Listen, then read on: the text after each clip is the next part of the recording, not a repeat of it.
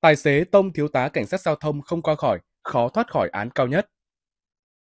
Hành vi tài xế điều khiển xe hướng thẳng mũi xe và cố tình nhấn ga tông thẳng vào thiếu tá cảnh sát giao thông nhằm tước đoạt mạng sống của nạn nhân có dấu hiệu của tội giết người rất rõ. Như PLO đưa tin, chiều ngày 21 tháng 4, Công an huyện Đức Hòa, Long An phối hợp với cơ quan chức năng tuần tra, kiểm soát trên đoạn đường tỉnh 824, đoạn qua xã Mỹ Hạnh, Nam để bắt tội phạm vận chuyển hàng cấm. Phát hiện xe ô tô bán tải 49C29601 có nhiều biểu hiện nghi vấn, nên cảnh sát giao thông đã ra tín hiệu dừng xe kiểm tra. Tài xế không chấp hành mà tông thẳng vào lực lượng chức năng và một số phương tiện rồi lật nghiêng giữa đường.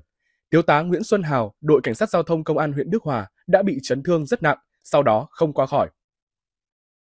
Luật sư Trương Văn Tuấn, đoàn luật sư thành phố Hồ Chí Minh phân tích, xe ô tô là nguồn nguy hiểm cao độ.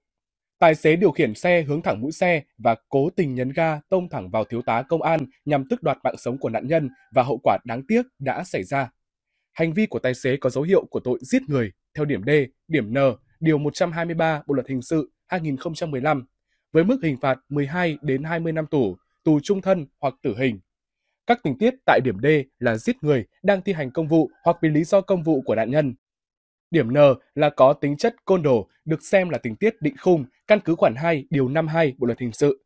Quá trình điều tra, trường hợp phát hiện trên xe có chở hàng cấm, tùy theo loại hàng hóa mà có thể khởi tố thêm tội buôn lậu theo điều 188 Bộ luật hình sự năm 2015 hoặc tội tàng trữ, vận chuyển hàng cấm theo quy định tại điều 191 Bộ luật hình sự 2015. Đối với tội buôn lậu, người phạm tội có thể bị phạt tiền từ 50 đến 300 triệu đồng hoặc phạt tù từ 6 tháng đến 3 năm.